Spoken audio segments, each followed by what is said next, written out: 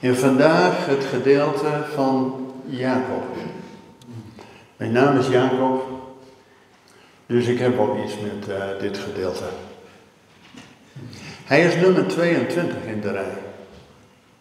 En hoeveel letters zijn er in het Hebreeuws? Oké, dus hier is een keerpunt. Jacob vertrekt als Jacob en hij komt straks terug als Israël. En weet u, na 22 letters begint het weer opnieuw. Maar dan vanaf Jacob gaat het over veelheid. Over de twaalf stammen. Dat zijn al die takken. Abraham is de wortel, Isaac de stam, Jacob de kruin en de takken Israël. En er zijn een paar takken weggebroken, zodat wij er als wilde loten tussenkomen. Maar God gaat ook die takken die afgebroken waren terugplaatsen. En weet je, ik wil beginnen met een tekst uit de psalmen. Psalm, een van die opgangsliederen. Die pelgrimsliederen die altijd gezongen werd om met elkaar mee te gaan, kom gaan met ons naar het huis van de Heer. En is Psalm 121 het slot. Psalm 121, vers 8. De Heer zal uw uitgang en uw ingang bewaren van nu aan tot in de eeuwigheid. Even eerst de context. Voordat we dit toepassen op de parasha, dat Jacob ging op weg. Jacob is twee keer gezegend. De eerste keer nog een beetje door toedoen van zijn moeder Rebecca, dat hij notabene moest lijken als Esau en uh, met een maaltijd die erop leek, hè, allemaal de lookalike. Daar wordt hij door Isaac gezegend, maar niet met de zegen die hij nodig heeft. Pas de tweede keer, en dat lezen we in deze parasha, gaan we zo lezen. Dan roept vader Isaac Jacob. Dus dan is Isaac bij zijn volle verstand dat het om Jacob gaat. En dan zegent Isaac Jacob met de zegen van Abraham. En dan geeft de Jacob een doel mee. Dus Jacob gaat niet doelloos op weg. Sommigen van ons die shoppen nog wel eens in de stad, een beetje doelloos de tijd verdoen. Nou, Jacob ging met een missie. En wat was zijn missie? Om een vrouw te zoeken. Want Isaac en Rebecca, die hadden een hekel aan al die Hethitische vrouwen die daar in het land Canaan waren. Dus Jacob krijgt de zegen van Isaac mee met een doel om een vrouw te zoeken. Vanuit zijn familie van zijn moeder. En dan komt de tekst, Psalm 121. De Heer zal uw uitgang en uw ingang bewaren. Waarom staat er niet gewoon, God zal jouw ingang en jouw uitgang bewaren. Maar dan ga je toch ergens naartoe. Nee, het gaat hier erom, God zal vanuit de plek waar je bent, waar je thuis bent, ook al ga je de wereld in, hij zal je beschermen ook zodat je weer terugkeert. En daarom moest Jacob eerst een ontmoeting hebben met de levende God. In Bethel. Hij wist het niet eens. Pas nadat hij die droom heeft gehad, noemt hij die volgende ochtend die plek. Dit is een onzagwekkende plek. Het is een huis van God. En daar in dat Bethel, huis van God, krijgt hij niet alleen de zegen van Isaac en een visie mee, maar krijgt hij een visie op wie God is. En laten we het gedeelte lezen, Genesis 28. En anders praten we over Gods woord, maar niet vanuit Gods woord. Genesis 28 vanaf vers 10. Een aantal versen lezen we. Ja, het wordt ook geprojecteerd, dus het komt helemaal goed. Genesis 28 vanaf vers 10. En daar staat. Jacob nu vertrok uit Beersheba en ging naar Haran. Hij bereikte de plaats waar hij overnachtte, want de zon was ondergegaan. Hij nam een van de stenen van die plaats, maakte daar zijn hoofdkussen van, legde zich op die plaats te slapen. Toen droomde hij en zie op de aarde stond een ladder, waarvan de top de hemel raakte en zie de engelen van God klommen daar langs omhoog en omlaag. Dat is ook weer anders dan wat je verwachtte. Je verwacht toch dat de, eh, de engelen in de hemel zijn. Nou, dan komt hij eerst vanuit de hemel naar Jacob toe. Dat is al een ontmoeting met het hemelse naar jou toe. Nee, hier staat die engelen klommen omhoog. En dus waar begonnen ze? Bij hem. De engelen waren al lang om hem heen. Ook al had hij nog helemaal geen idee. Dus de engelenwacht die beschermde hem al. Hij moest alleen nog het zien. Zo moeten wij vaak ook eerst een visie krijgen in ons leven. Dat we niet alleen maar ons eigen doel najagen, maar dat God ons laat zien wat de bedoeling is. Maar weet u, Jacob, zo net werd er dan gezegd, Jacob is eenzaam.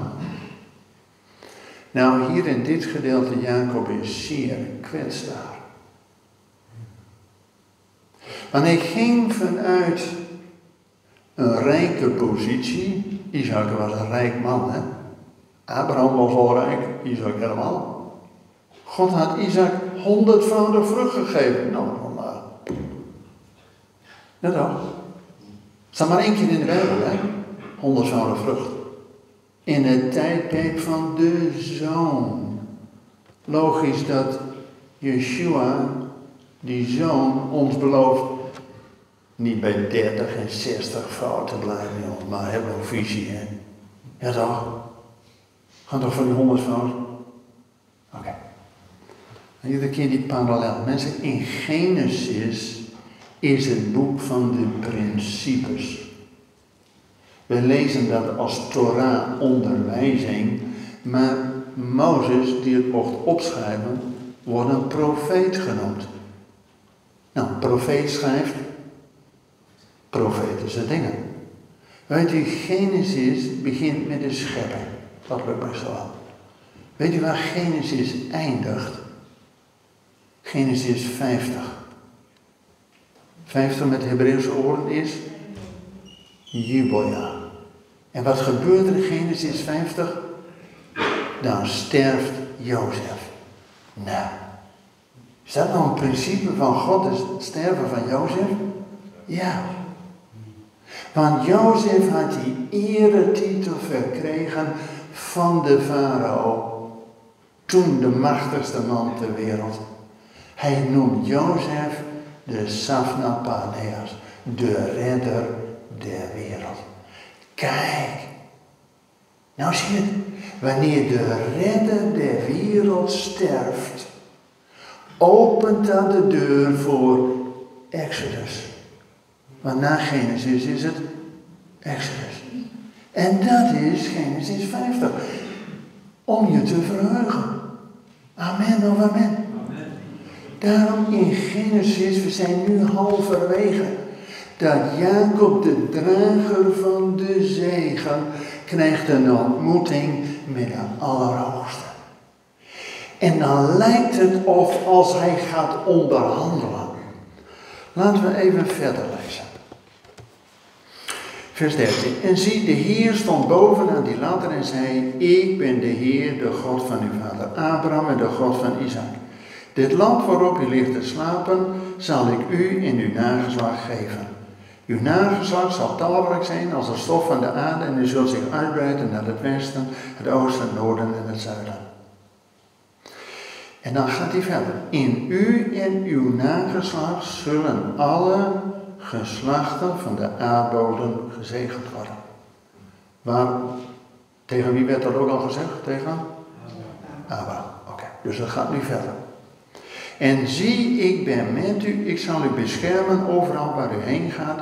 Ik zal u terugbrengen in het land, want ik heb u niet verlaten totdat ik gedaan heb wat ik tot u gesproken heb. Dus God heeft nog een bedoeling. Hè?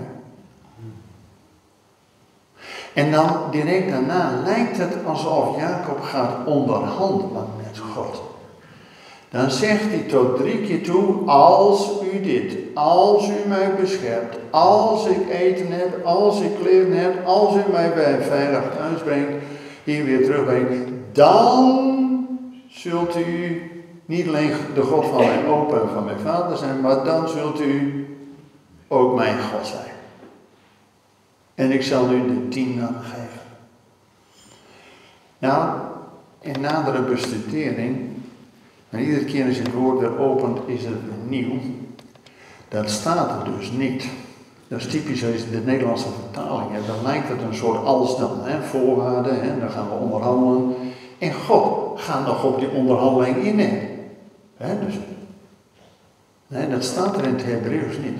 Het is veel meer, u was mijn God hier bij mijn opa en bij mijn ouders en als u werkelijk mij leidt, dat u niet alleen daar mijn God bent, maar ook weer terugbrengt in de bestemming, dan zul ik u de tienden geven en u zult mijn God zijn. Oké. Gaan we nog verder. Want dit is het eerste deel waarin Jacob kwetsbaar is hij ging van een positie van rijkdom naar Laban, maar onderweg was hij kwetsbaar. Mensen, hij moet 2.000, 3.000 kilometer lopen, hè. En weet ik het wel voor apen en beren op de weg er allemaal zijn en legers, dan weet ik het. Hij was alleen. Oké. Hij krijgt dus de visie van God en de zegen van God dat het goed komt. Nou is hij dat hij bij Esau vandaan ging, de rode, en die gaat naar Laban, de witte. Maar in ieder was hij er veel mee opgeschoten is. En weet je, Laban, die wordt gezegend omdat de God van Jacob hem zegent. En dat erkent Laban. Weet u, Israël is tot zegen voor de wereld.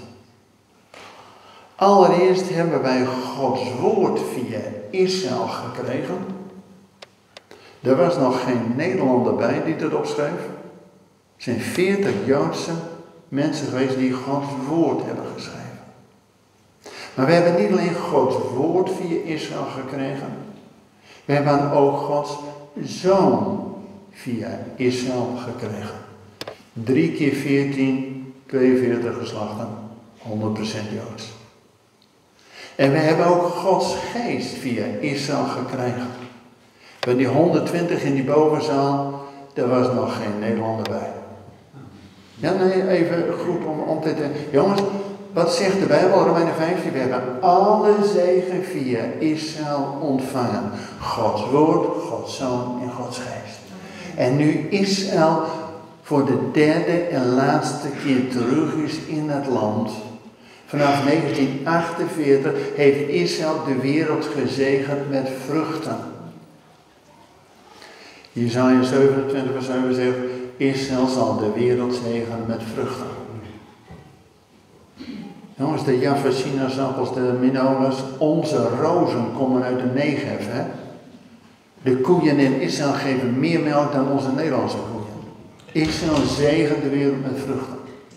Inmiddels zijn die kibbutzen omgeturnd tot IT-fabrieken en nu zegent Israël de wereld met informatietechnologie. En die USB-stick en die computer, daaruit gevonden. Die, die, die chip van je smartphone, daaruit gevonden. Cybersecurity, daaruit gevonden. En weet u, nu gaat Israël naar fase 3. Om tot zegen te zijn voor de wereld. Hoe? Om leiderschap te tonen. Weet u, de hele wereld heeft 18 jaar lang de andere kant op gekeken dat Hezbollah daar 150.000 raketten kon neerzetten en heel Zuid-Libanon heeft ingepikt. De wereld keek de andere kant op toen Hamas daar 500 kilometers zit te ondermijnen. De wereld keek de andere kant op. De wereld kijkt de andere kant op met Iran die een atoombom wil hebben. Het liefst er vijf. En weet u, Iran gaat het niet om Israël, hè. Dat is nog maar de kleine Satan. Weet u wie de grote Satan is? Dat is Amerika en het Westen. Dus Israël vecht nu voor de joods-christelijke waarden. Dat er een God is die het leven beschermt. Ze tonen leiderschap. Zo kan slot van de Torah staat, ik, dat God tegen Israël zegt, ik zal u tot een hoofd der volkeren maken. En niet tot een voetveeg. Nou, wat hebben wij gedaan? Israël tot een staat gemaakt. Maar God gaat zijn volk tot een zegen voor de volken. En daartoe die omreizing van Jacob, die twintig jaar geduurd heeft bij Laban. Laban werd gezegend, omdat Jacob er was. Wij zijn gezegend doordat Israël in de wereld, in ons, dat we zijn woord, zijn zoon en zijn geest hebben gekregen. En nu na twintig jaar krijgt Jacob weer een droom. En een droom op een zeer cruciaal moment. Want na twintig jaar bij Laban, en u weet, hij moest een vrouw zoeken. Nou, hij kreeg er zelfs vier, hè? Ja, dat. Leek me niet makkelijk. En dan was er ook nog een hoop. En na twintig jaar zegt Jacob, kom, we gaan uh, terug. Dan zeggen zijn vrouwen notabene, Lea en Rachel, die zeggen we, we gaan met jou mee. Want onze vader heeft ons gewoon verkocht. Zo. Jacob heeft zeven jaar gewerkt voor eerst Lea, toen zeven jaar voor Rachel, zeven, Daarna nog zes jaar. En toen had je nog geen DNA-technologie. Hè? En je had nog geen uh. Je had nog niet de, uh, de wetten van Mendel en weet ik wat. Maar 4000 jaar geleden, hij wist precies wanneer. Uh, u, kent het verhaal, hè? Dat Jacob rijk werd door Ene keer had Laban de gespikkelde en dan de gestreepte en dan de gevlekte. En nee, iedere keer, zes keer, weer, eh, het loon werd weer gewijzigd. Maar Jacob ging op een hele tactische manier mee om. Oké, dus hij werd rijk. En na twintig jaar dat de zonen van Laban worden jaloers. En zeggen, die vent is rijk geworden ten koste van de kudde van onze vader. Weet u, als Israël in de wereld is, laatste 2000 jaar, en de wereld gezegend is, hoeveel Nobelprijswinnaars zijn er wel niet met Joodse achtergrond? Die allemaal hun uitvinding tot zegen voor de wereld. En als Jacob dan wat rijk wordt, dan wordt de rest jaloers. Antisemitisme begint altijd bij jaloezie. Dat je denkt, hé, hey, hij heeft het wel en ik had het moeten hebben. Dus na twintig jaar zien we het antisemitisme, de jaloezie daar bij de zonen van Laban. En dan spreekt God op een tweede manier naar Jacob. Geeft een tweede droom. En daarin een visie. Om terug te keren. Dus na twintig jaar is de tijd vol. Oké, get home. Weet u, de parasha is natuurlijk uit Genesis, maar de profetenlezing is uit Hosea. En voordat we bij Hosea 12, dat is het gedeelte wat erbij was, dan heb je eerst Hosea 6. In Hosea 6 staat, kom laten we terugkeren naar de Heer. Hij heeft verscheurd, zal ons genezen. En dan komt hij, na twee dagen zal hij ons leven maken, op de derde dag zal hij ons doen opstaan. Nou, even schrift met schrift vergelijken.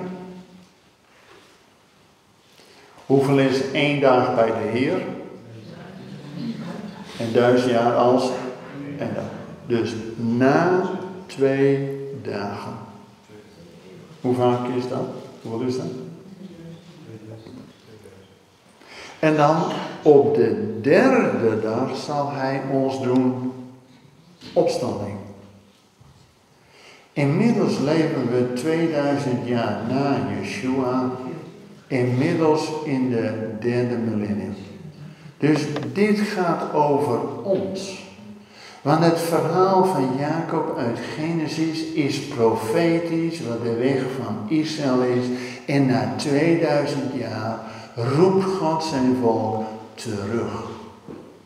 Wauw. En weet u, waarom is Israël nou terug in het land? Niemand vindt het leuk. Hamas heeft er een oorlog voor over. Uh, Hezbollah uh, nog veel meer raketten. Iran vindt dat niet leuk. Europese Unie, nou, daar hebben we het maar niet over. Verenigde Naties doen allerlei resoluties om Israël er maar weg te hebben.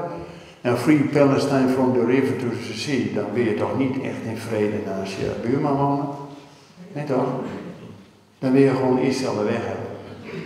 En weet u, toen Israël de eerste keer in het land kwam, na de Exodus, hebben wij Gods woord gekregen. Toen Israël de tweede keer uit Babel naar het land kwam, hebben we Gods zoon en Gods geest gekregen. Nou, Israël na 2000 jaar omzwerven voor de derde en laatste keer terugkomt en keert. Welke zegen is nog over? We hebben alle zegen al. Gods woord, Gods zoon en Gods geest. Welke enige belofte is er nog over? En dat is de komst van het koninkrijk. Met de komst van Yeshua. En dat kan alleen als Israël in het land is. Dus ook Jacob daar bij Laban krijgt de roepstem, de visie, get home. En tuurlijk, Esau die wil dat allemaal niet en we kennen het allemaal nog wel. En met Jacob moet er ook nog wat gebeuren. Moet nog van Jacob naar Israël. Want weet u, Abraham, Isaac en Jacob. De tegenhanger in wat wij het Nieuwe Testament noemen, Vader, Zoon en Geest. Abraham is de vadertype. Die het land ging innemen, waterputten sloeg, vrouw zoeken, noem maar op.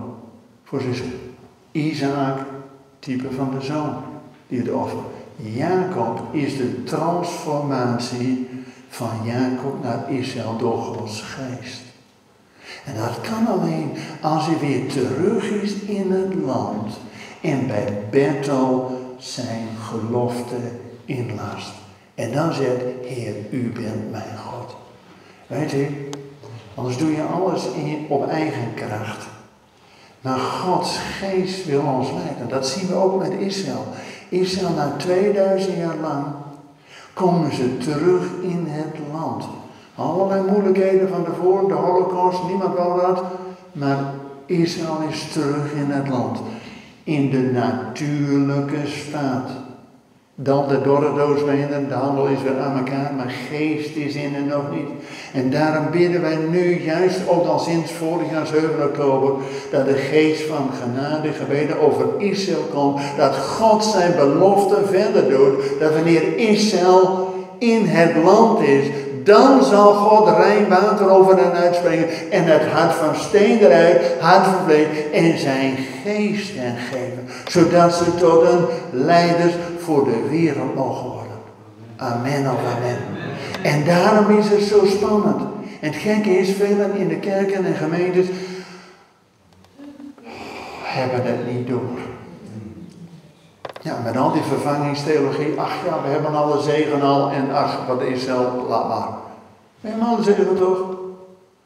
Weet u, God brengt Israël terug in het land om de visie van God te vervullen. Om tot een zegen voor alle volkeren te zijn. Want wanneer wordt er pas echt vrede op aarde?